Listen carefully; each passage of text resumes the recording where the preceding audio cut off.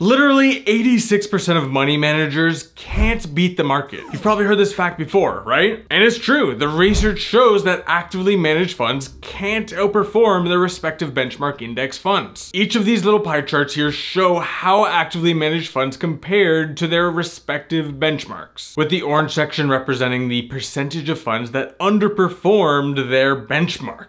Ouch. So what does all this mean for you watching? Well, for one thing, it means that for the most part, if you choose to invest your money into an actively managed fund, and therefore letting a money manager pick stocks and buy and sell them for you within that fund, well, you'll be worse off than your neighbor who just took the advice of going with the low cost index funds. But what if you not only want to achieve the same results as your index fund neighbor, but you actually want to achieve even greater results. You want to actually beat the market. How possible is that? Is that realistic? After all, I mean, if 86% of the professional money managers can't manage to do it, is it realistic to think that you can? I believe the answer is an overwhelming yes, and I'm gonna tell you why right now. So I'm sorry if this video so far has got you down at all on your prospects of beating the market, but don't worry because by the end of this video, you're gonna be feeling much more optimistic, I promise. And to start adding to some of that optimism, check out this quote by Warren Buffett. If I was running $1 million today, or $10 million for that matter, I'd be fully invested. Anyone who says size does not hurt investment performance is selling. The highest rates of return I've ever achieved were in the 1950s. I killed the Dow. You ought to see the numbers. But I was investing peanuts then. It's a huge structural advantage not to have a lot of money. I think I could make you 50% a year on 1 million. No, I know I could. I guarantee that. And this quote actually points to the first of a few reasons why money managers can't beat the market. It's size. When you're working with billions of dollars like the professional money managers are,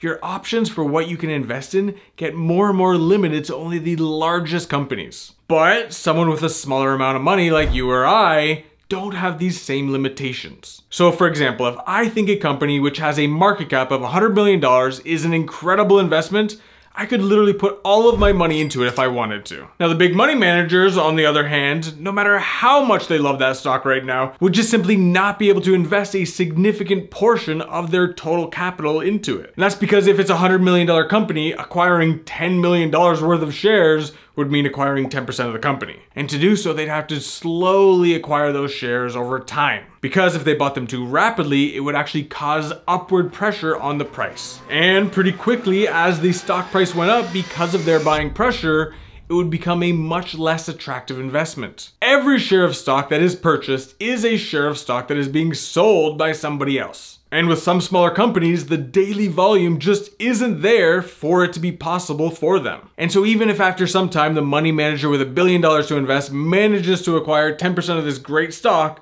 well, they've still only allocated 1% of their total capital because $10 million is 1% of a billion dollars. And so even if that investment turns out to give massive returns, it's not gonna significantly contribute to the fund's overall returns. And what ends up happening is that while you and I are able to concentrate our money into our handful of best investment ideas, the money managers basically have no choice but to put money into their 50th best idea or their 100th best idea or their 1000th best idea. And there's no way you're gonna find a thousand stocks that are gonna double or triple or 10x. It's just not gonna happen. And because they're limited to only the highly traded and the largest companies, there's this entire universe of stocks that they don't even look at or consider because they're just too small for them. Is this making sense? I hope so. It's pretty cool, right? How we actually have an advantage in that we can concentrate into our best ideas and we can consider smaller companies. So that's pretty cool, but we haven't even mentioned the most obvious reason the money managers don't beat the benchmark index. It's the fees they charge. The amount by which the actively managed funds underperform their benchmark index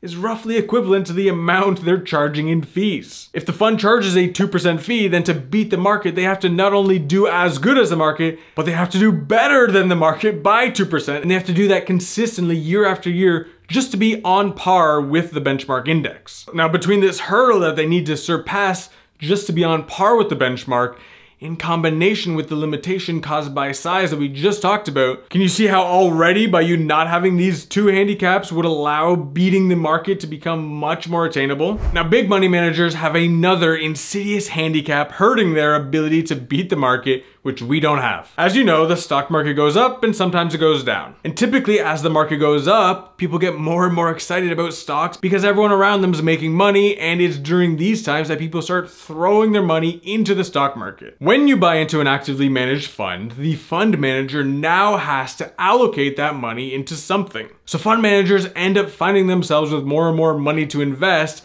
the higher and higher the stock market climbs and the more and more overpriced it becomes. But in times when there's panic and the stock market is falling and all the great opportunities are becoming available, the investors in the funds are meanwhile selling and pulling their money out, which means that the money managers are also forced to be selling. Now, essentially, these fund managers are kind of working with their hands tied behind their back because during the times that stocks are cheap, they're mostly forced to be net sellers rather than net buyers. Does that make sense? And can you see how that would make it tough for a big money manager to beat the benchmark index fund under these conditions? And are you noticing how all of these conditions aren't conditions that you're subjected to? Funds are the dominant players in the market doing the majority of the buying and selling, and most of these funds are totally focused on the short term. They're focused on what the share price of a company is likely to do over the next six months, rather than on simply buying underpriced stocks and actually treating shares of stock as business ownership. So when you hand your money over to a fund manager to invest invest your money for you, rather than investing that money for you,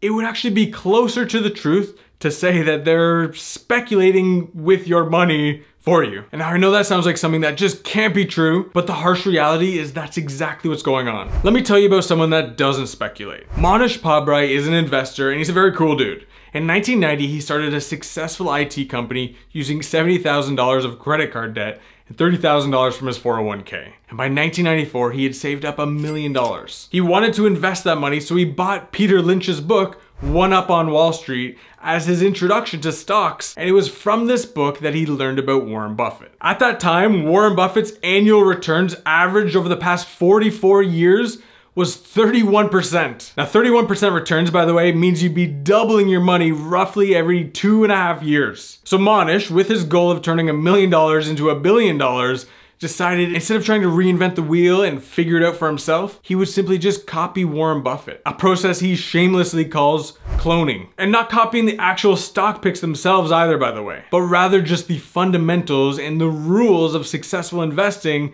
that Buffett lays out. So what he did is he read everything Buffett ever wrote and everything ever written about Buffett, watched and attended every shareholder meeting, and he cloned them. In 1999, he started his own fund right before the dot-com bubble crash, and over the next eight years, annualized 29.4% returns. And that's after fees, and that's also while the market only turned out a less than 5% annualized return. Pretty cool, right? In 2008, he met with Warren Buffett, his mentor, for the first time after winning a charity auction for a lunch with Warren Buffett with a bid of $650,000 shared with his friend Guy Spier. And at that lunch, one of the things that Buffett said to them was if you're even a slightly above average investor who spends less than you earn, over a lifetime, you cannot help but get very wealthy. Is that cool or what? Does that sound nice? Do you think it's possible for you to be a slightly above average investor, spend less than you earn, and copy a proven set of fundamentals? Right now, Mohnish Pabrai's net worth is $130 million.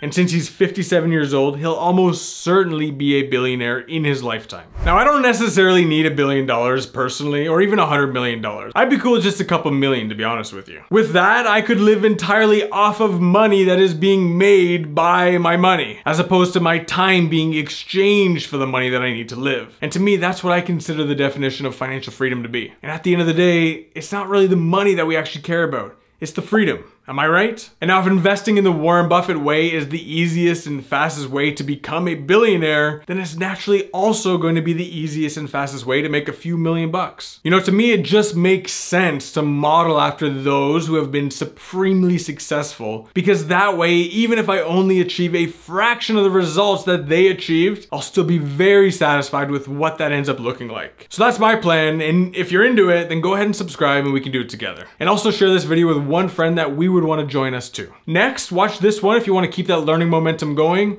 And also remember, I'm not a financial advisor. I'm just someone that loves investing and is just passionate about helping people move that finish line of financial freedom up just to be a little bit closer. I'll see you over in this next video.